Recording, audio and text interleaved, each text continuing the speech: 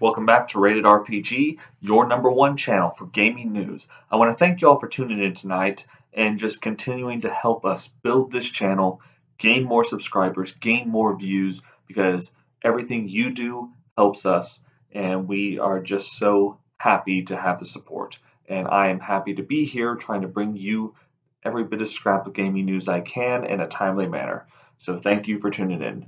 Now, if you like what you hear, please be sure to like and subscribe. What we're here to talk about this evening is CD Projekt Red and some new information concerning Cyberpunk 2077. We have been just digging and begging for any information on Cyberpunk 2077, and we've taken everything we can get so far. Uh, we all remember the original launch uh, announcement trailer back in the day with its just beautiful atmosphere. And then we went a long, long dry spell without hearing anything. Then finally, we heard the beep. We got all the announcements at E3. We had the whole sifted controversy.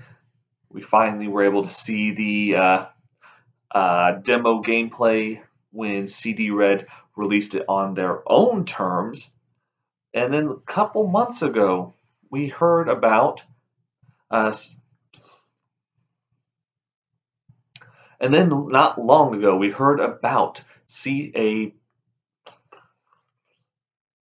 And then not long ago, we heard about one of the creative directors over at CD Red on the Cyberpunk team, Sebastian Stępień, leaving the team to go work at Blizzard. First off, I find it surprising that anyone's finding job at Blizzard, considering everything going on over there.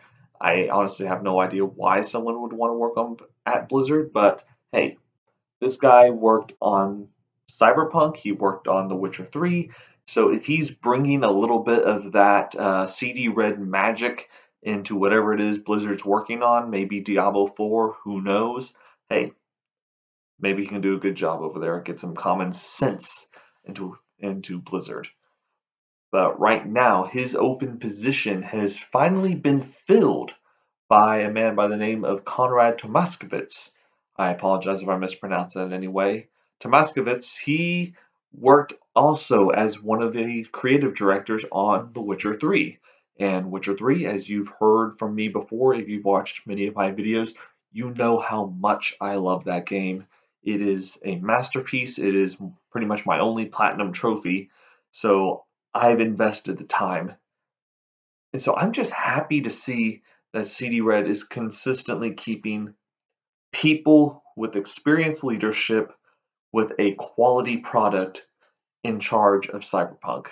Cyberpunk is, of course, going to be a much bigger, much different beast than The Witcher 3 but I am so hopeful for it. I am so, just anticipating so much. We heard uh, not long ago that they're going to be putting in an appearance at E3. I mean, everybody pretty much knew that, but it's still just nice to hear that confirmation. So we are all looking forward to what they're going to be doing there.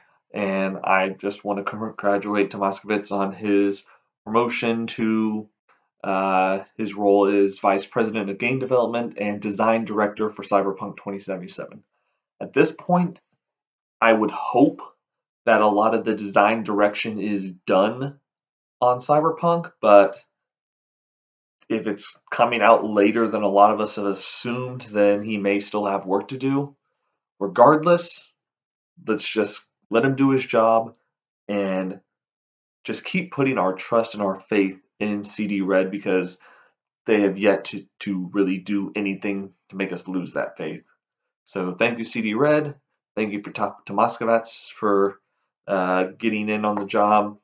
Take doing what you need to do. So take all the time you need to put out a quality product, and we will appreciate it. Uh, thank you all for tuning in. This has been kind of just a little update on CD Red, something you see a lot of this on this channel probably. But regardless, I want to thank you all for tuning in, for watching the channel, liking and subscribing. Be sure to subscribe to the channel even if you don't like what you hear. Thank you very much. Have a good night, y'all. Hey there, thanks for watching. If you liked the video, please like and subscribe. And don't forget to hit that bell icon so you can get all the latest gaming news from Rated RPG.